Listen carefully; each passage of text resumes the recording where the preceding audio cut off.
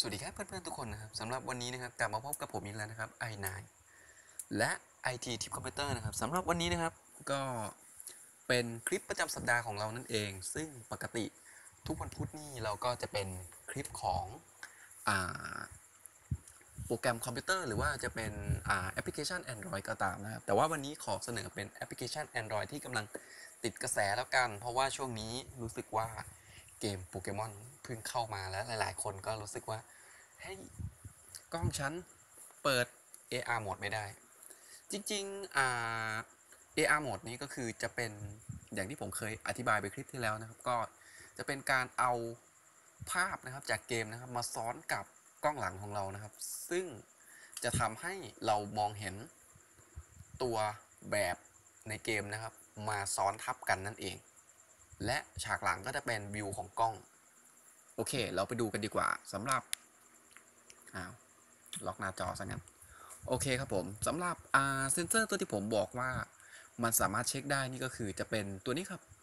เป็นเซนเซอร์บล็อก for Android นั่นเองอ่าไม่แน่ใจเหมือนกันนะครับว่าใครที่ใช้ iOS นี่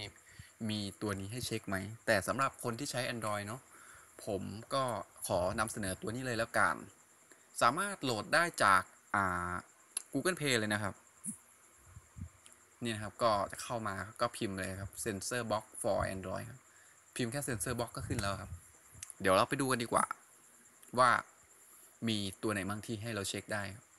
อ่าทั้งหมดก็จะมี 9 ตัวนะครับ เป็นเซนเซอร์หลักๆ ที่เขาใส่มาให้นะครับก็จะมี 9 ตัวด้วยกัน ก็จะมีตัวแรกครับเจ้าลูกบอลสีเงินนี่ก็คือ เป็นเซนเซอร์ตรวจจับ การเอียงของจอนะครับ ซึ่งเหมือนกับว่ามันเคยมีเกมชนิดหนึ่งนะที่ที่สร้างขึ้นมาเล่นบนสมาร์ทโฟน โดยที่กลิ้งลูกบอลไปให้ได้ โดยที่อย่าให้มันตกหลุม อ่านั่นแหละครับ เจ้าเกมตัวนั้นแหละครับ สร้างมาจากเซนเซอร์ตัวนี้เลยครับ อ่าสำหรับตัวนี้ก็จะดูได้นะครับว่าเป็น Data อะไรกราฟเป็นยังไง แล้วก็ฮาร์ดแวร์ของเราเป็นตัวไหน โอเค เดี๋ยวเราไปดูตัวที่ 2 กันดีกว่า ตัวที่ 2 นี่ก็คือเป็น Light Sensor นะครับ อันนี้ก็ บอกชื่อก็บอกอยู่แล้วนะครับ ว่าเป็นเซ็นเซอร์ของแสงสว่างนี่ครับดูครับเดี๋ยวผมจะเอียงจอเนี่ยครับมันก็จะวัดอ่าความสว่างของหน้าจอครับ ซึ่งถ้าลองหน้าจอมันสว่างไอตัวรับหน้าตัวรับเซ็นเซอร์เนี่ยมันรู้ว่ามันสว่างมันก็จะทำให้จอนะมืดลง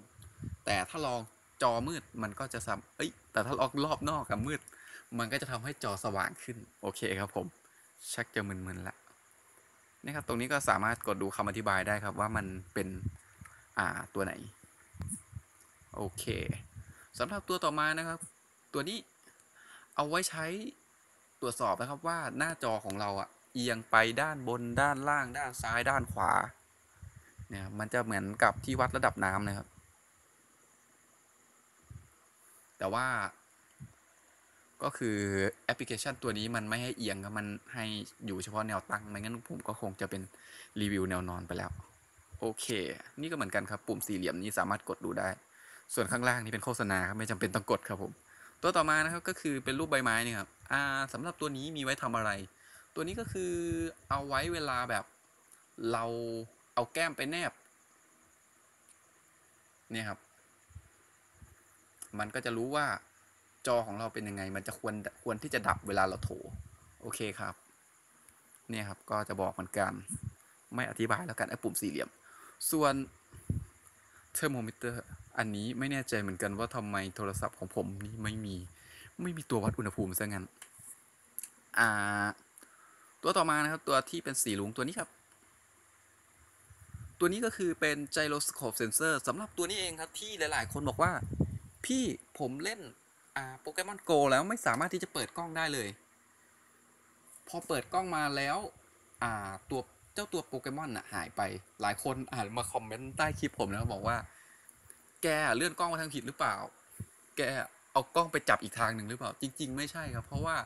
ถ้าลองอ่าสมาร์ทโฟนตัวไหนนะครับ ที่ไม่มี gyroscope sensor นี่ก็คือ พอเปิด AR mode เจ้าตัวอ่า จ้าตัวแบบที่อยู่ในเกมนะครับ มันจะหายไป จะมองเห็นเฉพาะกล้องหลังเท่านั้นครับ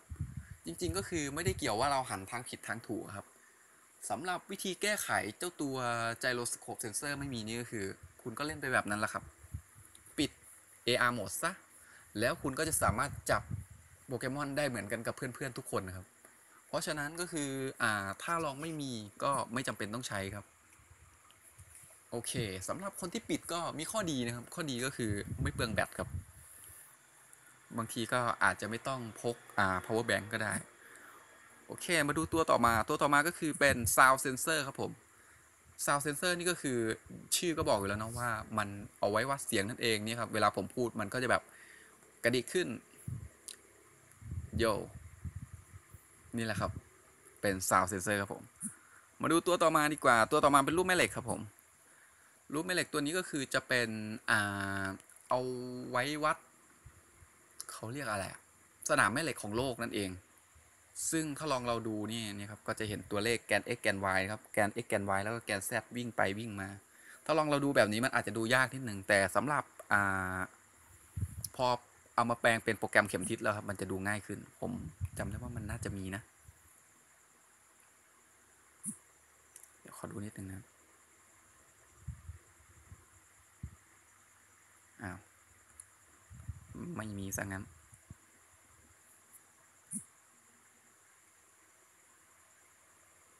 นี่ไง เนี่ยครับพอเป็นเข็มทิศแล้วมันจะดูง่ายขึ้นครับ เนี่ยครับ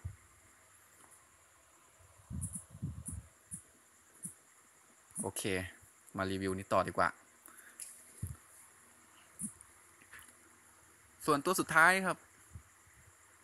เป็นรูปคล้ายๆกันกับ Sound Sensor แต่จริง ๆ มันคือไม่ใช่นะครับ มันบอกว่าเนี่ยครับอุปกรณ์ของคุณไม่รองรับแน่นอน เพราะว่าเจ้าตัวนี้ครับจะมีในสมาร์ทโฟนรุ่นใหม่ๆอ่าไม่แน่ใจว่าซัมซุงรุ่นไหนที่ใช้ตัวนี้ แล้วก็จะมีเป็น iPhone 6 ครับ จะมีเทคโนโลยีตัวนี้ก็คือ จะเป็นวัดความดันครับ ก็คือจะวัดแรงกดนั่นเอง ไม่ใช่วัดความดันแบบเส้นเลือดเรา ก็คือวัดแรงกดครับ สมมุติว่าคุณกดไป มันจะรู้ว่าคุณกดนั่นก็คือคุณกดครั้งหนึ่งหรือว่าคุณกดแช่ไว้เพื่อที่จะอ่านข้อความณส่วนนั้นสำหรับเทคโนโลยีนี้สมาร์ทโฟนรุ่นใหม่ๆ ส่วนใหญ่จะเริ่มทำออกมาแล้ว ส่วนรุ่นที่ทำออกมาก่อนหน้านั้นก็อย่างที่เห็นนี่แหละครับ เหมือนเครื่องผมนี่แหละไม่มีครับผม โอเค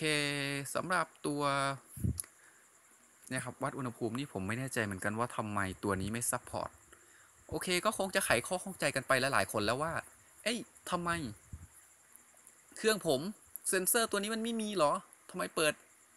AR โหมดไม่ได้ นี่แหละครับ ด้วยเหตุนี้เองครับ เพราะฉะนั้นก็ลองไปโหลดมาแล้วก็ลองดูนะครับว่าเครื่องของคุณรองรับไหม ถ้าลองเครื่องของคุณนะครับ ดูเจ้าสี่เหลี่ยมลูกเต๋าเนี่ยครับ ที่เป็นรูปลูกบาศก์เนะครับ เป็นสีลุ้งเนี่ยครับ ถ้าลองไจโรไจโรสโคปเซนเซอร์ของคุณ ทำงานเนาะก็คือคุณสามารถที่จะ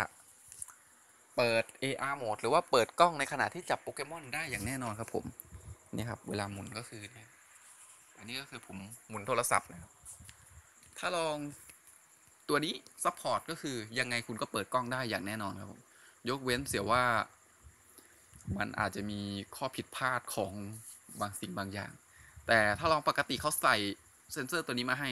ก็รับรองเลยครับว่า เปิดได้ครับผม